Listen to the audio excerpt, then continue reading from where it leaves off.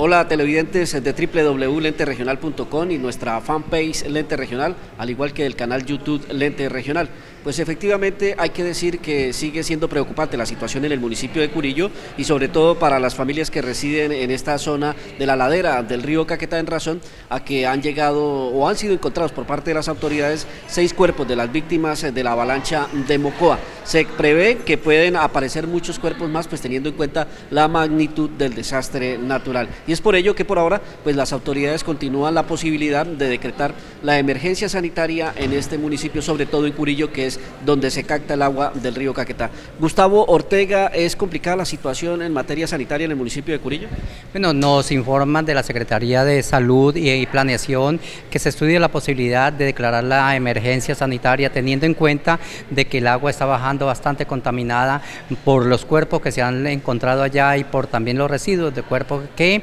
mm, han caído hacia el río Caquetá por la misma palizada y el mugre que está bajando teniendo en cuenta que eh, el agua que se surte al municipio es captada directamente de la fuente del río Caquetá. Gustavo, hasta el momento son seis los cuerpos que han sido hallados eh, en aguas del río Caquetá. Sí, efectivamente, con el apoyo de Defensa Civil, de la Naval y Bomberos, en, eh, se ha localizado seis cuerpos sin vida, los cuales ya fueron entregados a la Defensa Civil de San Miguel para que ellos a su vez los hagan de llegar directamente a Mocoa, donde están recepcionando y haciendo los estudios de reconocimiento para entregar a sus familiares.